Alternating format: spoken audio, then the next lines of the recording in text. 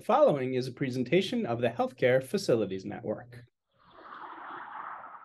You are looking at Joan of Arc Chapel on the campus of Marquette University in Milwaukee, Wisconsin. This is the Healthcare Facilities Network. I'm Peter Martin.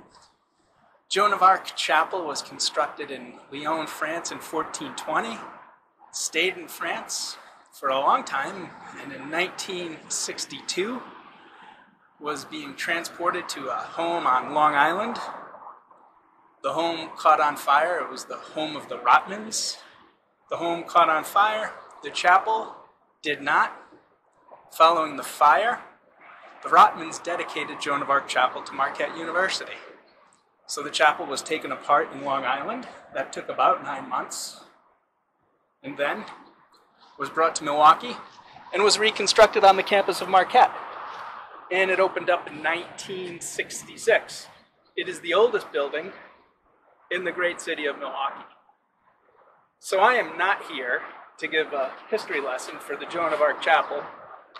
But I'd like to do two quick things. This week on the Healthcare Facilities Network, we released a um, interview that we did with Karen Detloff. Karen's Vice President of Facilities and Construction at Metro Health in Cleveland, Ohio.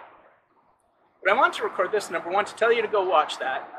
But also, number two, Karen's career started in clinical engineering, biomedical engineering. And it has her now at the vice president level in facilities management. We have a biomedical degree program here at Marquette in the engineering department.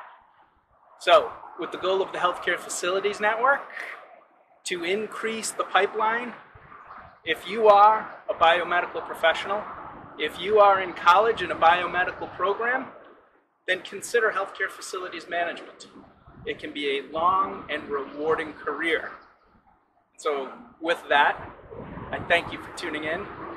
I invite you to read more about Joan of Arc Chapel. It is one of my favorite places on this campus. It wasn't my favorite place when I was a student here. Most of my favorite buildings when I was a student probably had a tap in them and poured.